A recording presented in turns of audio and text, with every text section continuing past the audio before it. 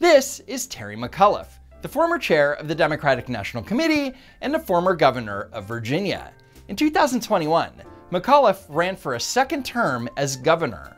McAuliffe's Republican opponent was Glenn Youngkin, a former CEO of a private equity group and personally worth hundreds of millions of dollars. And most notably, Youngkin had zero political experience. Now remember that Virginia is considered a blue state. In the 2020 election, Joe Biden beat Donald Trump by a 10 point margin. All things considered, it should have been a cakewalk for Terry McAuliffe. And having already served as governor and being a Clinton era powerhouse in the Democratic Party, it was McAuliffe's race to lose. So let's jump to September 17th, 2021, the day of the first gubernatorial debate. Here's Glenn Youngkin talking about vaccines. Let me just start with my position on vaccines. Uh, I have been a strong, strong advocate for everyone to get the vaccine. I do believe that individuals should be allowed to make that decision on their own. But that's why I launched a public service announcement to encourage people to get the vaccine. I think what we need to do right now is make sure that everyone in Virginia understands that getting the vaccine is the most important thing we can do. So Youngkin is pro vaccine and anti mandate. So it couldn't be any clearer, but here's Terry McAuliffe's response. I have been very strong in this from day one, and Glenn and I differ on this issue. His anti vax, rec- what he has said, he's had rhetoric out there. So when you say that you're a strong advocate for the vaccine and you encourage people to take it, that's anti vaccine rhetoric. Got it. He told college students if you don't want to take the vaccine, just fill out an exemption. You know, I think that's life threatening, and I think that's disqualifying as governor. You know what should actually be disqualifying? Being a slimy liar. I'm Glenn Youngkin, candidate for governor. I'm a business guy who loves numbers. And the numbers show COVID vaccines save lives. That's why I chose to get the vaccine. It's your right to make your own choice, and I respect that. I do hope you'll choose to join me in getting the vaccine. Did you see it? Did you see the anti vaccine rhetoric? Wow, what a monster. I'm showing leadership. I'm not doing PSAs. Thank you. I'm telling you, let's Thank get you. everybody Thank vaccinated. you, Mr. McAuliffe. Except making that PSA is showing leadership. And my McAuliffe not giving Youngkin even an ounce of credit just shows that when it comes to the Democrats, COVID is purely political. I support the vaccine. I stand up for the vaccine. Mr. Youngkin, but I your time is respect up. individuals' We ability wanna to go on to the next decision. topic, but I do wanna give- I do wanna give Mr. not McAuliffe 15 requiring seconds mandates. to So we just should all understand where we are. It's all fluff words. PSAs. Who cares about a PSA? Half the people wouldn't even know who you are on TV. So, first, McAuliffe straight up lies about where Youngkin stands on vaccine policy. Then, McAuliffe calls Youngkin a nobody who is wasting his time making fluff word PSAs about the vaccine. Great job, jerk. So, the day of the debate, McAuliffe's polling average was 5.4 points ahead of Youngkin. Within days after the debate, McAuliffe's lead slipped from 5.4 to 2.8. Now, as you may know, one of the hot button issues in the Virginia election was education, with parents voicing their concerns to local school boards about what was being taught to their children. Some Virginia school boards were pushing back and refusing to talk about certain policies or straight up lying about them.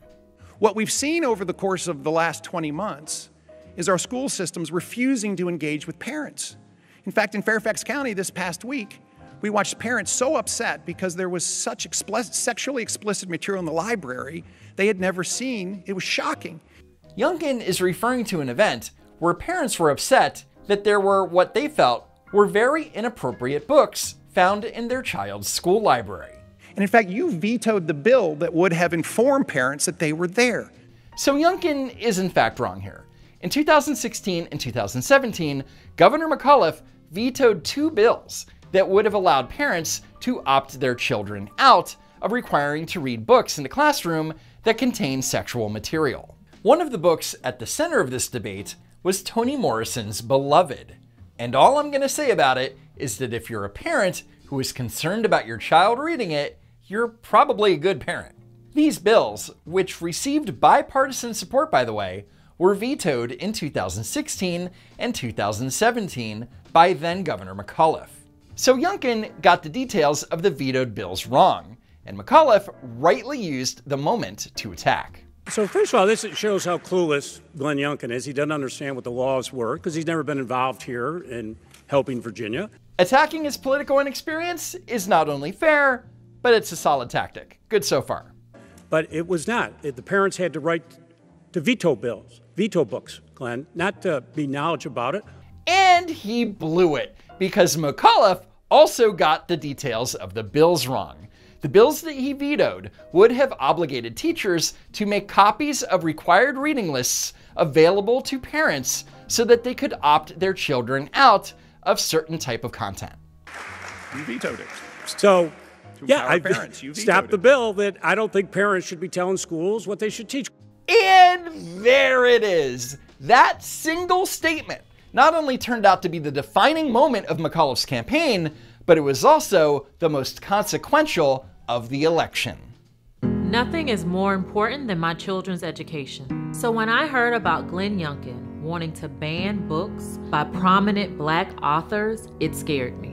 here in Virginia. Youngkin, um, he's campaigning on banning books. As I explained, Youngkin isn't banning books.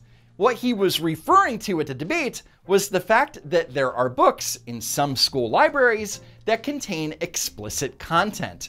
And what he was suggesting is that parents have the right to know about the existence of those books. Nothing is more important than my children's education. First of all, how is Toni Morrison's Beloved in any way vital to a child's education? It's a work of fiction. Second, there's nothing stopping this concerned parent from purchasing whatever book they see fit for their child or borrowing one from a local library. But more importantly, what the ad was saying is that parents should be allowed to have a say in their child's education. So, great job, Terry. banning books written by a preeminent African American woman who is a Nobel Prize winner. Think about that. So, even though parents were concerned about the book's content and not the author's skin color, McAuliffe is playing the race card in an attempt to paint Youngkin and his supporters as racists. So, during McAuliffe's interview with Joy Reid, the topic shifted to critical race theory. And as you mentioned correctly, we don't teach critical race theory. It's never been taught in Virginia. So technically, McAuliffe is correct by saying that critical race theory is not a subject being taught in Virginia schools. You know, like critical race theory 101.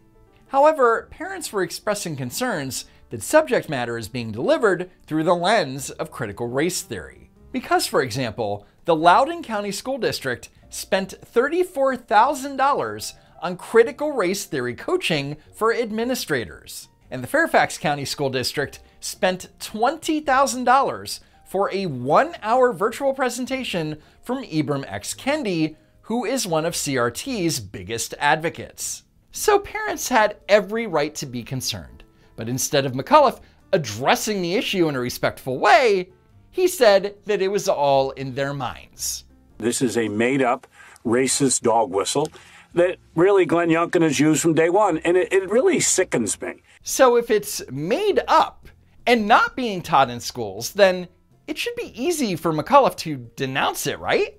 What's Glenn Youngkin's education plan? He wants to ban critical race theory. Well, let me explain to you. It's never been taught in Virginia. Yeah. So again, if it's made up, then all McAuliffe needed to do was say, it has never been, nor will it ever be taught in our schools, and then disavow it. But he didn't say that because he doesn't actually believe that.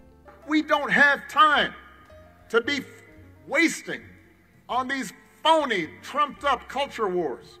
This fake outrage that the right wing media peddles to juice their ratings.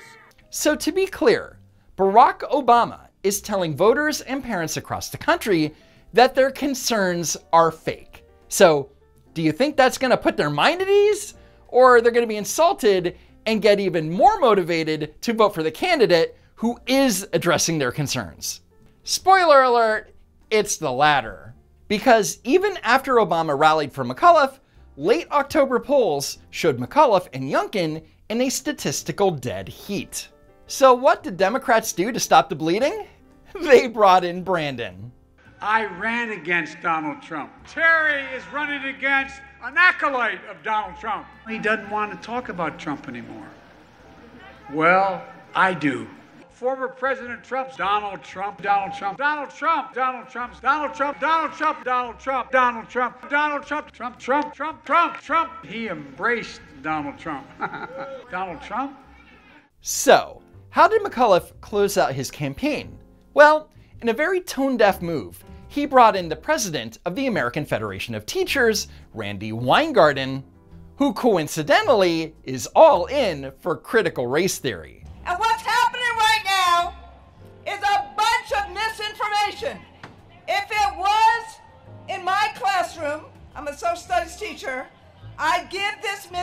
Misinformation an F. That's ironic because most of the misinformation has come from Terry McAuliffe, but whatever. We gotta bring people together, not do what Youngkin is doing of pulling people apart. So Weingarten is saying that we need to bring people together and that Youngkin is being divisive. However, I would like to present this closing statement by Terry McAuliffe. And I promise you, we've got to diversify our teacher base here in Virginia. 50% of the students in Virginia schools, K 12, 50% are students of color, and yet 80% of the teachers are white. We all know what we have to do in a school to make everybody feel comfortable in school. So election night came, and it was a bloodbath. In a state where Joe Biden beat Trump by 10 points, Glenn Youngkin received more than 50% of the vote. Thanks, Obama! Not only that, but Virginia voted for a Republican lieutenant governor, a Republican attorney general, and voted for enough Republicans to take away the Democrats' control of the House of Delegates. Overall, I'd say it was a great night for Republicans and a big win for common sense. And now I would like to end it with some wisdom from our current Vice President, Kamala Harris. What happens in Virginia will in large part determine what happens in 2022, 2024, and on. And on that surprisingly very positive note, that's it for now. Don't forget to pick up some Let's Go Brandon merch while it's still legal, and be sure that you're still subscribed to the channel. Thanks for Poofy for her help with this week's script, and as always, I hope to see you next time. If there is next time.